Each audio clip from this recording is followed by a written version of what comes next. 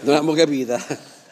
Riconvocheremo tutti i giorni per Poi- poi potete- o, dato che c'è qualcuno che dice, sì, che dice che questa amministrazione non ha fatto niente o pochino, eh, vi illustro, che vi illustrerò man mano che vi eh, dedicheremo per eh, tutte le, tutte le iniziative che vi porteremo alla luce e vi eh, faremo capire che noi in questa amministrazione, non avendo soldi, perché il governo eh, e la crisi economica ci ha tagliato tanti fondi, siamo stati bravi ad andare a prendere i soldi da altre parti. Quindi significa alta qualità progettuale, capacità di produrre risultati tecnici che hanno prodotto risultati economici sulla città e che saranno eh, purtroppo nel periodo eh,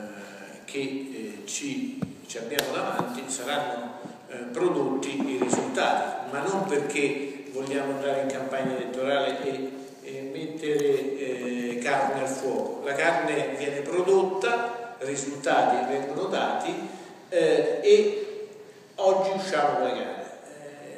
Eh, è un percorso. Se, fosse stato, se ci fossero stati i soldi dell'amministrazione, molto probabilmente avremmo fatto anche meno. Ma a- dovendo andare a prendere soldi, eh, produrre progetti e avere finanziamenti, i tempi ci sono allungati. Quindi oggi esce il primo progetto Plus vero di lavori pubblici, perché già una pa- un, un bando è già stato avviato, questo è il primo progetto Plus che va a gara. Molto probabilmente diciamo quello progettualmente più semplice per certi versi, progettualmente più semplice da produrre, perché parliamo di via Genova. Eh, via Genova è, eh, credo, eh, diciamo pure che da venerdì scorso è di proprietà dell'amministrazione comunale eh, e per questo motivo, per questo motivo eh, possiamo produrre questo risultato senza far colpe a nessuno, mancherebbe altro, però dare colpe a nessuno. Eh, illustriamo il progetto, l'assessore e l'architetto Gai, dirigente del settore, illustrano il progetto, così almeno vedrete come rivivrà via Genova. Sì, sì, no, questo ci arriva, ma solamente due parole perché poi lascio, lascio all'architetto gara la descrizione che come ha detto giustamente il sindaco è il progetto più semplice, ma comunque la parte significativa che di oggi, quello che dicevamo alcuni mesi fa, che forse non era ancora ben chiaro a tutti e che ormai è un processo questo che è partito e che con queste tappe che vogliamo portare a conoscenza della città ma anche dell'imprenditoria locale perché sappia attraverso la vostra opera che dalla prossima settimana ci darà questo bando di gara che sono 900.000 euro.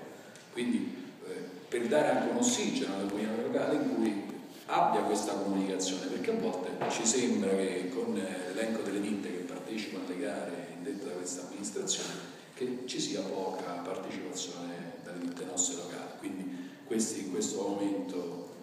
particolare è la concretizzazione di quel famoso progetto Plus che fino a settembre-ottobre, l'ultima volta ci siamo parlati, che ha tenuto banco durante tutta l'estate con le varie vicissitudini che voi ben ricordate, un progetto che, che diventa realtà oggi con questo primo bando di gara, a tutte le cose che sono dette nel passato, chi cambiava, chi non cambiava, chi voleva rimodificare. Questo porta all'economia vitembese